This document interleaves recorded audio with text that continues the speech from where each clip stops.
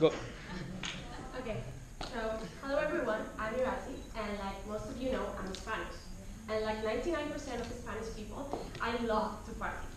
I just give you a fun fact. Spain has more bars per inhabitant than any other country in the world. But don't get me wrong, I'm not saying we're drunken. We just love to go out, be out there with our friends, have fun. And that's how I am, and that's what I want for this MBA. Because I want to learn what fun means to each and every one of us. Full-timers, part-timers, exchange students, double degrees, everyone. Because in 10 years' time, when we look back, we won't remember the study night or the three-hour long lectures.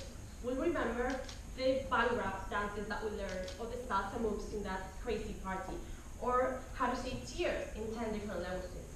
So vote for me, and let's get this party started.